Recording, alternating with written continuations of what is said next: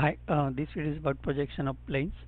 So this is a problem statement that a thin rectangular lamina of dimension 100 by 50 mm is resting on its shorter side in the vertical plane and, and is inclined at 40 degree with the horizontal plane uh, such that its front view is a square side of 50 mm. Draw the projection of the lamina and find its inclination with the vertical plane. Okay, so that's the problem statement. So um, this problem is in a three stages in the first stage this lamina is sitting uh, parallel to the vertical plane here and you see this one line as in the top view. Then it is making this angle. We don't know that angle but we know that uh, it is move at a such angle that its front view is a uh, square of 50 mm okay so we have to find that angle. So that's the second stage. And third stage the same square is moved uh, so that it is making 40 degree here.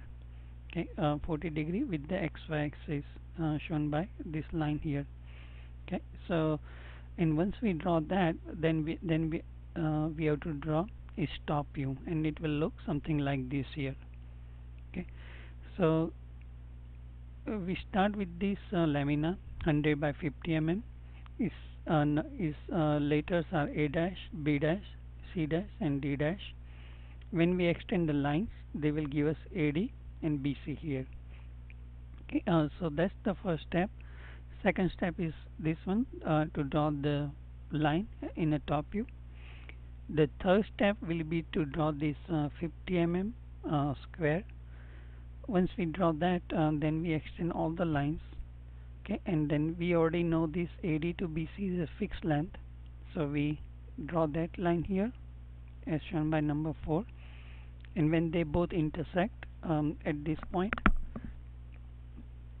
So once we draw that line uh, it will make this angle and this is the angle that we have to find out and that angle turn out to be 60 degree. Okay so that's the step number four. After that uh, this square it is uh, tilted at a 40 degree. So it is making uh, 40 degree with the xy axis. And again the same uh, letters a dash b dash c dash and d dash will stay as is. Then once uh, we have to uh, draw these lines here uh, we extend in the bottom and then we extend the the length from here ADBC uh, this length AD to BC that's the same length here as well.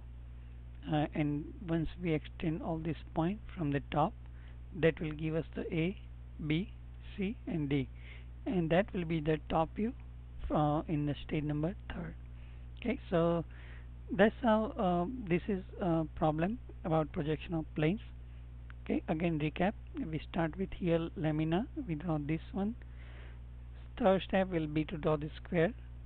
Uh, draw this line here. Measure this angle. That's the solution first solution. Then we make this uh, 40 degree with this square then we extend all the lines here and then we extend all the lines from the left hand side. When they both met, uh, met each other we give A, B, C and D. Okay and um, that's the uh, solution of this problem. Hopefully you like this video. If you like it subscribe to my channel and thanks for watching. Okay bye